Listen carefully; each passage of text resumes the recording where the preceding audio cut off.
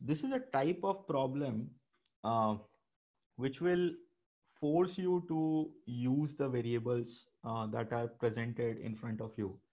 There are many questions which comes in CAT nowadays, uh, which will be arithmetic based, but then uh, you would be forced to take up variables. So it's important in those kind of questions also that you never lose a focus on the requirement, whatever is requirement here uh, but before we get into that, uh, first of all, there is an information in sort of a relationship given in this question, and that is the first sentence. So average of A, B, C, D is equal to the average of 2A and D, and also equal to the thrice the average of B and D. So that is the first sentence, right? Or the first part of the entire question. So I'm just writing this down, whatever is given. So average of A, B, C, D. So that would be A plus B plus C plus D by 4 should be equal to, to uh, average of 2A and D. But 2A and D are two numbers only, right? So don't treat it as A, A and D. When it says the average of 2A and D, they're just simply two numbers. So that would be what? 2A plus D divided by 2. So this is the second part. And that is equal to thrice the average of B and D. First of all, what is the average of B and D? B and D has an average of this much. And thrice of that would be equal to this much, right? So this is equal to this thing, thrice of the average of B and D. And now coming to the objective. So what is required here? So I'll just write this a little below we are looking for the average of 5b 2c and a which is three numbers. So that is 5b 2c and a. Average of these three. So effectively to get this and i hope you can see the options there in terms of a and d. Um, so in order to figure this out we need to get this right? If i can figure out the numerator my job is done. So i need to find 5b plus 2c plus a. So what is the value here now, uh, there is a mentality among students to take uh, values in these cases. That is not uh, any problem, but then you should be safe while taking those values. Uh, I would not discuss, uh, you know, assuming values and all. I would straight away get into uh, some simplified equation solving techniques, and then you'll be able to figure out that whether that is comfortable for you or not otherwise you can assume some value just be careful when you're taking the values that these relationships are satisfied. So um, let us work with the first quality here. So that is the first part and the second part. So i hope you can see that uh, in the left hand side we have a denominator of 4 and the right hand side we have a denominator of 2 so if i put it in this way the numerator of the left hand side is twice the numerator of the right hand side right and just multiplying 4 on both the sides. So we get something like this, right? We can simplify this also. So let me do that. So B plus C is equal to 3A plus D. So let me keep this relationship. So this is one relationship that we have obtained.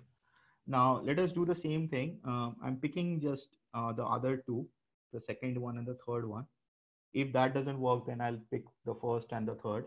The reason i'm not starting with picking the first and the third is uh, because it deals with too many variables. And the second and third are still com- comparatively uh, you know comfortable because uh, both have denominators of 2 here right? So simply we can equate the numerator. So if i equate the numerators i get something like 2a plus d is equal to 3b plus 3d right and which simplifies as uh, 2a is equal to 3b plus 2d. Now, this is what we obtain, right? Now, in these cases, my objective is to always uh, focus on uh, what is required. So this is the requirement here. I need to find this 5b plus 2c plus a. So this is what I'm searching for. So when I have these two relationships, I am seeing that uh, there's a 3b here and there's a b here. So if I, I, I know mentally that if I can double this and add, I'll get 5b. And side by side, I'm also noticing that if I do that, if I double this, basically the, double the entire relationship that is, I mean, put it in this way that this rectangle that I have, I'm doubling everything here. So if I double that, then here I get 2D on the right hand side and I here I get 2D on this side, right? So this should work out because 2D should be canceling out because how, how am I going to add it? I'm going to add this with the left hand side here, right? So then the 2D comes on either sides that will automatically cancel out. And if you notice the requirement, I don't need the D. I need just in terms of A, B, and C. So let's do that. So I'm doubling this relationship, this entire relationship, and then I'm adding the other way around. So I'm adding the left hand side here with the right hand side here. So what do I get? So first of all, this 3B and 2B, so that is 5B. I get a 2C and a 2D, right? So that is the left hand side and right hand side added. And uh, obviously I have to do the other way around. So if I do that, uh, so that is twice the right hand side here and the left hand side here. I need to add these two. So what I get is 3a into 2 is 6a. Um, and also I have to add this 2a to that. So let me do that in the same go, one go. You, you can you can use the steps if you're not comfortable with this. Uh, you'll arrive at the same thing and uh, 2D, right? So this is what we obtain. So now this is what I was talking about. So I hope you can see that this 2D and 2D cancels off. And interestingly enough, uh, this also gives us 2C, right? Because uh, that was the requirement. So I hope you can see now that 5B plus 2C plus A should be equal to 9A, right? Simply adding A on both the sides. So this entire thing is 9A. So this item should be 9A divided by 3, which is 3A. The same thing you can do using values. Just be careful while taking the values. That's the only thing. I'm not, uh, I'm not going to suggest taking values uh, for a couple of reasons. One is I've seen students making mistakes uh, while taking the values. If you are comfortable with that, you can do that.